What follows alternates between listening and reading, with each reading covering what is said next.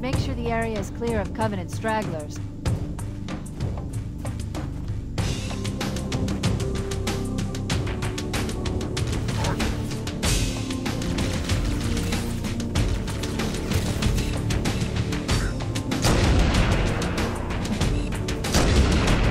That's the last of them. Roger that. I'm on my way.